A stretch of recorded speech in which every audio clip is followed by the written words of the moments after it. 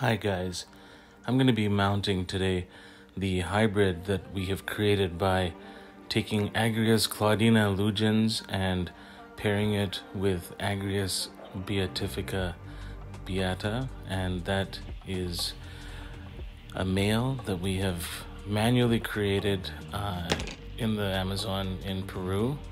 I recently was able to acquire a whole bunch of these that we have farmed. Each one that we have raised comes out differently. These hybrids are highly variable and each one is very unique. This example is probably one of the most beautiful I've seen in a long time. And so I thought I'd share it with you guys because the colors are just unreal. So I have left the specimen uh, in the hydration box for about 12 hours and uh, it is now ready for me to you can see how pliable it is. It's ready for me to move its wings and put all of the pins in place to make it look symmetrical. This process is by far the most challenging.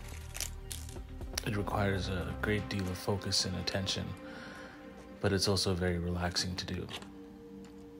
This is one of uh, the strongest flying butterflies in the world so you have to put a second piece of uh, tracing paper to make sure that that forewing doesn't droop down. What I do on the right side, I must do on the left side. I'm gonna match it to make it look like a exact perfect mirror. That's challenging to do too. The reason why these guys are called cocaine butterflies is because as a larva they feed on the plant that's used to make cocaine. And uh, they are found in the zones in South America where narco traffickers are quite active in their production, so they've been given that nickname. It's very interesting because they're a highly variable species and they're found throughout the Amazon jungle and other rainforests, ranging from Mexico all the way down into Bolivia.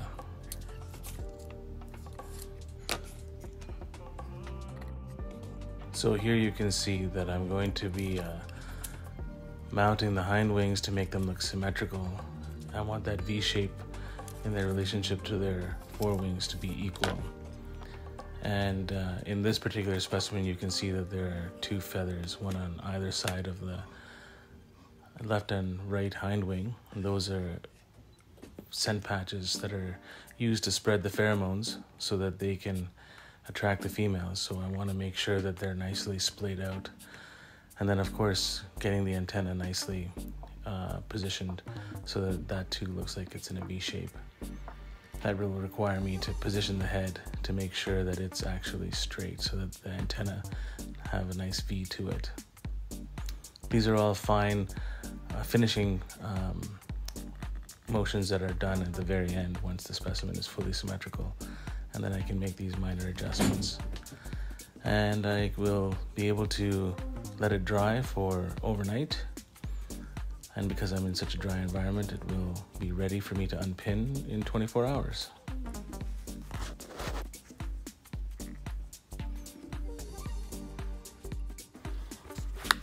Guys, I'm going to be asking you now that you've had a chance to watch a few of my videos. If you like my content, please give a subscribe and a like. Goes a long way with growing my channel. And if you have any feedback that you'd like to leave, I would love to read your comments. Until next time, I'm going to be posting more videos like this.